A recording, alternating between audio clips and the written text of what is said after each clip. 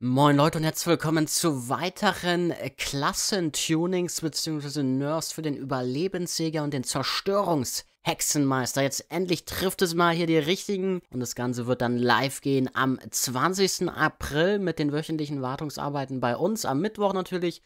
Und was genau sie hier nerven ist folgendes, und zwar das Legendary Wildfire Cluster, die Explosionen davon, äh, verursachen jetzt reduzierten Schaden, sobald man damit über acht Ziele hinaus trifft. Ja, was genau ist das ja eigentlich? Das ist die Lauffeuer-Streubombe. Und sobald ihr halt mit diesem Legendary acht Ziele oder mehr trefft, oder über acht Ziele hinaus halt trefft, dann ähm, ja, macht man einfach nicht mehr so viel Schaden. Und äh, dementsprechend ist das letztendlich eine Abschwächung des Überlebensjägers in AOE-Szenarien beziehungsweise einfach in Mythischluss halt, kann man so sagen, ja, weil in Mythischluss hast du meistens sehr, sehr krasse AOE-Szenarien, Big Pulse und äh, das wird dementsprechend abgeschwächt.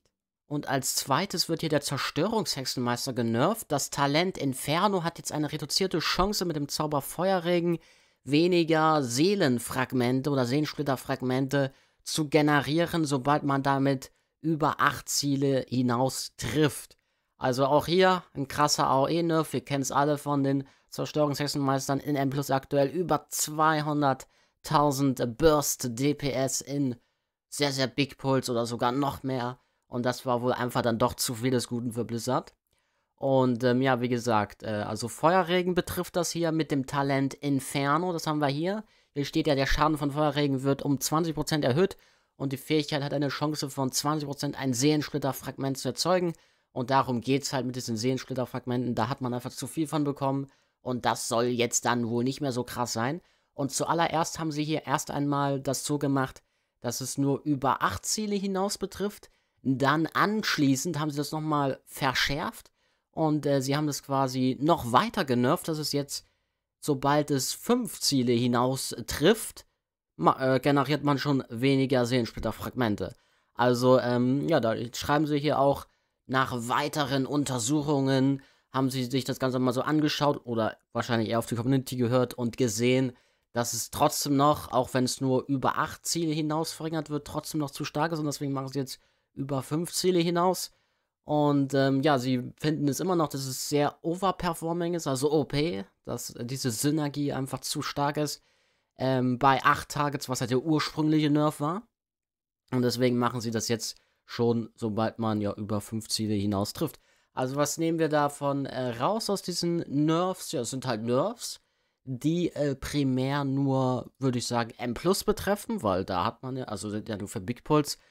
Und ähm, ja, das Problem ist nur, dass sie hier das Talent Inferno wirklich verändern, basierend auf, ich glaube, das hat ja auch mit einem T-Set-Bonus und so zu tun beim Zerstörungshexenmeister, dass die so stark sind.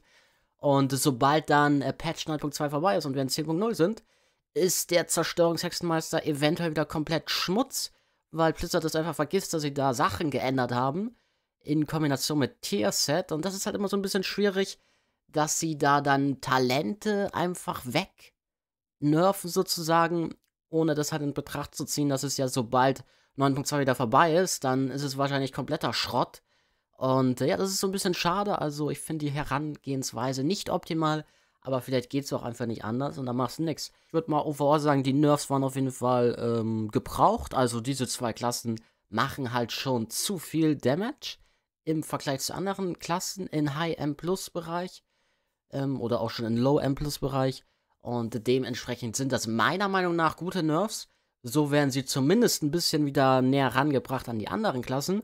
Natürlich muss man ja trotzdem dazu sagen, wahrscheinlich sind die beiden Klassen trotzdem noch sehr, sehr stark und spielst du eventuell trotzdem noch auch mit diesen Nerfs. Aber was trotzdem halt gut ist, sie kommen jetzt näher ran an den anderen Klassen. Vielleicht haben sie hier den äh, Zerstörungshexenmeister schon komplett zerstört, das weiß ich nicht. Ich selber spiele keinen Zerstörungshexenmeister.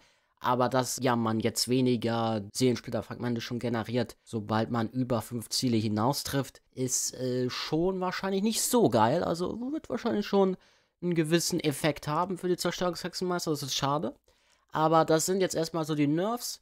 Also jetzt hat endlich mal die richtigen Klassen getroffen, meiner Meinung nach, die echt ein bisschen zu stark waren. Und ähm, ja, dementsprechend schreibt mir gerne eure Meinungen dazu in die Kommentare.